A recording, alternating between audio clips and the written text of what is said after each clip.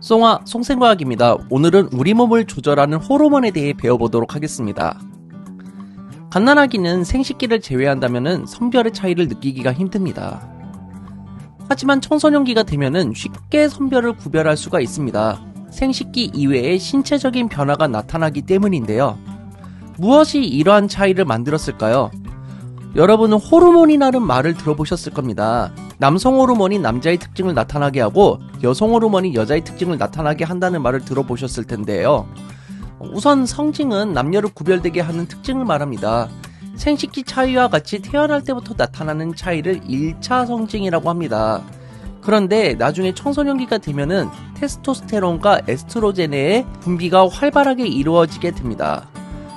따라서 남자의 2차 성징이 발현되게 되고 여성의 2차 성징이 발현되게 되면서 신체적인 특징이 또 나타나게 된다라는 겁니다. 결과적으로 남성과 여성의 2차 성징의 변화로 인해 이와 같은 신체적인 특징을 가지게 됩니다. 이와 같이 호르몬은 우리의 몸에 큰 영향을 주게 되는데 같이 한번 이 내용을 배워보도록 하겠습니다. 우리는 지금까지 신경계에 대해 배웠습니다. 외부의 자극을 신호로 받아들여 중추에서 판단하고 명령하여 반응을 일으킵니다. 결국 신경계는 빠르고 즉각적인 반응을 일으킵니다. 변화해야 하는 환경에 민감하게 대응할 수 있도록 우리 몸을 조절해야 하기 때문입니다. 자, 이제 호르몬을 살펴보도록 할 텐데, 춥다라는 자극을 받게 되면은 간내에서 이 상황을 파악합니다. 간내 내하수체에서 갑상선 자극 호르몬이 분비되고 갑상선에서 티록신이 분비되면서 세포호흡을 촉진시키면서 체온이 더 높아지는 반응이 나타나게 되는 것입니다. 결국 체온을 조절할 수가 있게 되는 것이죠. 이러한 점을 볼 때 호르몬은 외부의 환경이나 몸속 상태가 변하더라도 몸의 체온, 혈당량, 수분량 등의 몸속 상태를 일정하게 유지시켜 주려고 도와줍니다. 결국 호르몬은 항상성을 유지하도록 도와줍니다.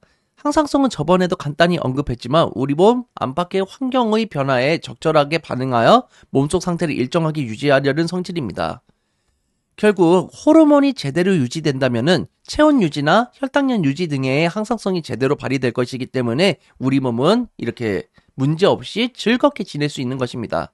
그러면 호르몬의 특징에 대해 한번 살펴보도록 하겠습니다. 호르몬은 신경계와 다르게 우리 몸에서 특정 세포나 기관으로 신호를 전달하는 내분비계가 있습니다. 이런 내분비계에는 호르몬이 분비되는 다양한 내분비샘이 존재합니다. 내하수체, 부신, 정소, 갑상샘, 부각삼생, 이자, 난소가 우리 몸을 이루는 대표적인 내분비샘이라고 볼 수 있습니다. 이때 여러 가지 몸의 기능, 즉 생리작용을 조절하는 화학물질을 통틀어서 우리는 호르몬이라고 합니다. 그래서 생장 호르몬도 있고요. 뭐 부신, 피질, 자극 호르몬 이런 것들도 있는데 중학교 수준에서는 어떤 호르몬을 배워야 되는지 앞으로 살펴보도록 할 겁니다. 우선 호르몬은 어떻게 작용되는지 한번 살펴볼 필요가 있는데요. 호르몬은 이렇게 호르몬이 만들어져서 분비되는 곳이 있습니다. 여기서 호르몬이 만들어진다면은 혈관을 타고 이동을 한 다음에 호르몬이 작용하는 세포 또는 기관에 이제 딱 머무르게 되면서 작용을 하게 되는 것이죠. 이때 호르몬이 만들어져서 분비되는 곳을 보고 우리는 내분비샘이라고 합니다. 그리고 호르몬이 작용하는 세포나 기관을 보고 우리는 표적세포 또는 표적기관이라고 합니다. 다시 한번 호르몬의 작용 과정을 살펴보면은 내분비샘에서 호르몬이 생성되고 혈액으로 호르몬이 분비되고 이 혈관을 통해서 이동을 하게 됩니다. 그 표적세포나 표적기관에서 작용하게 되는 것입니다. 정리하면은 호르몬은 내분비샘에서 분비되어 온몸을 순환한다라는 점을 기억해 두시고 특정한 세포나 기관에 작용하여 기능을 조절하게 됩니다. 그래서 그 갑상샘이라는 곳에서는 티록신이라는 게 분비되는데 세포 호흡을 촉진하거나 체온을 유지하는 데 도움을 주고요. 이자에서는 인슐린이 나오게 됩니다. 그래서 혈당량을 조절해 주게 된다는 사실도 확인할 수가 있습니다. 내분비샘은 호르몬을 만들어서 분비하는 조직이나 기관을 말합니다. 각각의 내분비샘에서는 서로 다른 종류의 호르몬이 분비되고 호르몬을 혈액을 통해서 이동하게 된다는 것이죠. 중학교에서는 보통 뇌하 수체, 부신, 정소, 갑상샘, 이자, 난소를 다루고 있습니다. 북악삼생 같은 경우는 고등학교 때 배울 예정입니다. 이때 각 내부 미샘에서 이와 같은 호르몬이 분비되게 됩니다. 뇌하수체에서는 생장 호르몬, 갑상생 자극 호르몬, 항인효 호르몬이 분비되고요. 부신에서는 아드레날린이 분비됩니다. 정소에서는 테스토스테론이 분비되고 갑상생에서는 티록신이 분비됩니다. 그리고 이자에서는 글루카곤이나 인슐린이 분비되고 난소는 에스트로겐이 분비되게 됩니다. 이런 호르몬들은 표적세포 및 기관에서 몸의 기능을 조절하게 됩니다. 그러면은 내분비샘이 있다면 외분비샘도 있지 않을까요? 당연히 있습니다. 내분비샘은 호르몬을 만들어 혈액으로 분비하는 조직이나 기관으로 분비관이라는 게 따로 없습니다. 그런데 외분비샘은요, 분비관이라는 게 있습니다. 화학물질을 몸 밖이나 소화관으로 분비하는 기관이기 때문에 그렇습니다.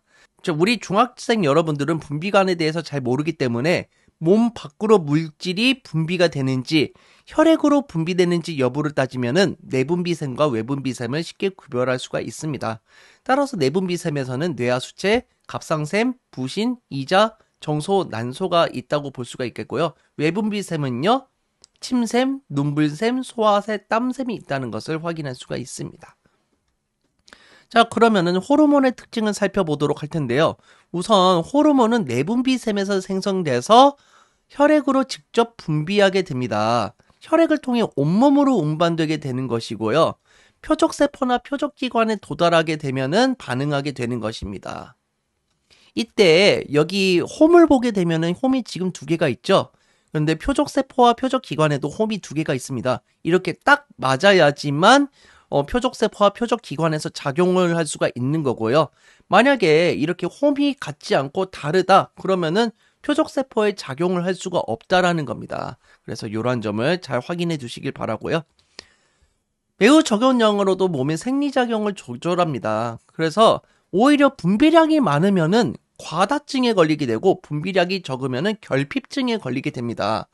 자, 생장 호르몬에 관련된 얘기를 보여주도록 할 텐데요. 생장 호르몬이 너무 많이 분비가 되면은 키가 너무 크고 덩치도 너무 커지게 되겠죠. 그래서 거인증이나 말단비대증이 나오게 된다는 것을 확인할 수가 있고요. 분비량이 너무 적으면은 생장이 많이 못 되겠죠. 그렇기 때문에 소인증 또는 외소증에 걸릴 수 있다라는 점도 확인할 수가 있습니다. 호르몬의 효과는 신경에 비해 느리게 나타납니다. 신경으로 자극이 전달될 때에는 전기신호로 전달되기 때문에 매우 짧은 시간 내에 반응이 일어나지만 호르몬에 의한 자극은 혈액을 타고 이동하기 때문에 느리게 반응이 일어나게 됩니다. 호르몬은 신경에 비해 작용 범위가 매우 넓고 오랫동안 지속이 되게 됩니다. 신경으로 전달된 신호는 뇌하 척수에서 명령이 내려지면서 특정 근육에서만 반응이 일어나지만 호르몬은 혈액이 돌아다니는 모든 곳의 표적세포 및 기관에 반응하기 때문에 작용 범위도 매우 넓습니다. 그리고 효과도 오랫동안 지속이 된다는 것을 확인할 수가 있죠. 다시 한번 정리하면은 신경은 누련을 통해서 전기 신호의 형태로 몸의 기능을 조절하고 호르몬은 몸의 기능을 조절하기 위해서 생성되는 분비되는 물질을 말합니다. 신경은 뉴런이 닿아 있는 기관에만 작용하여 빠르고 즉각적인 반응을 일으킵니다. 반면 호르몬은 신경을 통한 조절 작용보다 느리지만 작용 범위가 넓고 효과가 오랫동안 지속이 된다는 점을 알 수 있죠. 그래서 신경에서 일어나는 반응을 치타라고 본다면은 호르몬에서 일어나는 반응 속도를 나무늘보에 비유할 수 있다라고 볼 수가 있겠습니다. 자, 그러면 여기 있는 표를 한번 완성해 보도록 하겠습니다. 잠깐 영상을 멈춰보고 문제의 정답을 한번 생각해 보도록 하겠습니다. 자, 다 문제를 풀어보셨죠? 한번 진행해 보도록 할 텐데, 신호의 전달 매체라고 있습니다. 호르몬은 어떻게 이동을 합니까? 그렇죠. 혈액을 통해서 이동한다라고 했었습니다. 그리고 신경계는 뉴런을 통해서 이동하죠. 전기 신호로 이동되는 겁니다. 신호의 전달 속도는 혈액을 타고 액체를 타고 이동하니까 느리다고 볼 수 있겠죠.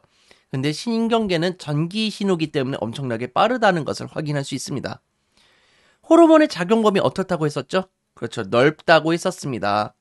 그리고 신경계 같은 경우는 어, 좁다 이렇게 얘기를 했었고요.